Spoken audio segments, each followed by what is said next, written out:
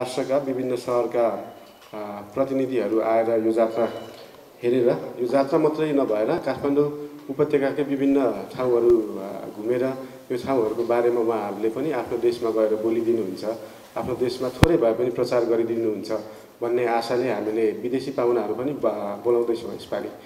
हाम्रो स्थानीय तहबाट मात्रै नभएर सङ्घ सरकारको तर्फबाट पनि विभिन्न देशका प्रतिनिधिहरू पाहुना स्वरूप आउनुहुन्छ।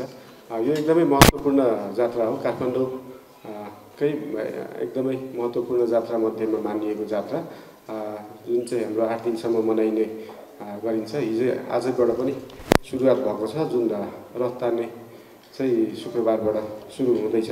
त्यसका लागि हाम्रो अनुरोध के रहनेछ भन्दाखेरि यो यसको विषयमा हामीले सकेसम्म जति सकिन्छ हाम्रो उपत्यकाभित्र मात्रै नभएर काठमाडौँ वरिपरिका जिल्लाहरू मात्रै नभएर सम्पूर्ण देशवासीले मनाउने सम्पूर्ण देशवासीकै लागि महत्त्वपूर्ण जात्रा यो विश्वमा पनि फैलियोस्।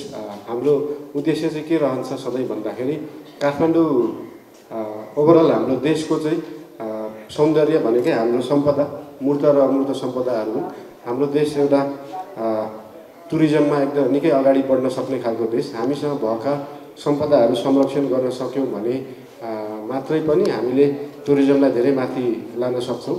अनि हाम्रो राम्रो पक्ष के छ? हाम्रो मूर्त र अमूर्त सम्पदाहरूको राम्रो पक्ष के छ भन्दाखेरि हाम्रा जात्राहरू हाम्रा परम्परागत पर्वहरू आफैमा एउटा पूजाआजा मात्रै नभएर एउटा इन्टरटेनमेन्टसँग पनि जोडिएको उत्साहसँग पनि जोडिएको उमङ्गसँग पनि जोडिएको खुसीसँग जोडिएको रमाइलोसँग जोडिएको भएको हुनाले पनि यसलाई जोगाउनलाई चाहिँ हामीले एउटा इन्टरटेनमेन्ट भ्याल्युसँग पनि सधैँ जोड्दै आएका छौँ जोड्दै जानु पनि पर्छ। तिनटै काठमाडौँ भक्तपुर ललितपुर तिनटै जिल्लाको आफ्नो जात्राहरूको छुट्टा छुट्टै महत्त्व आ, सबैलाई छुट्टा छुट्टै तरिकाले जोगाउँदै जानुपर्छ।